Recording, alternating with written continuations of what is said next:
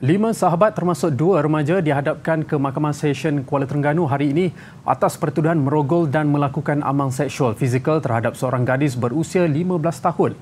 Kesemua tertuduh berusia antara 19 hingga 20. Mana pun mengaku tidak bersalah dan mohon dibicarakan selepas pertuduhan dibacakan secara berasingan.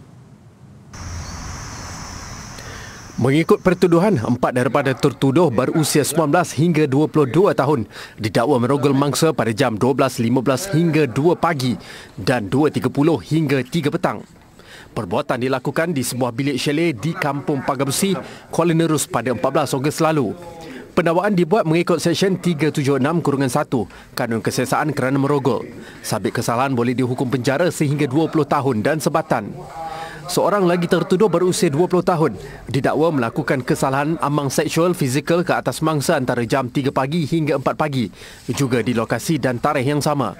Tuduhan dibuat mengikut Seksyen 14 kurungan A Akta Kesalahan-Kesalahan Seksual Terhadap Kanak-Kanak 2017. Mahkamah menetapkan 23 September depan sebagai tarikh sebutan semula kes. Tertuduh dibenarkan diikat jamin RM12,000 setiap seorang.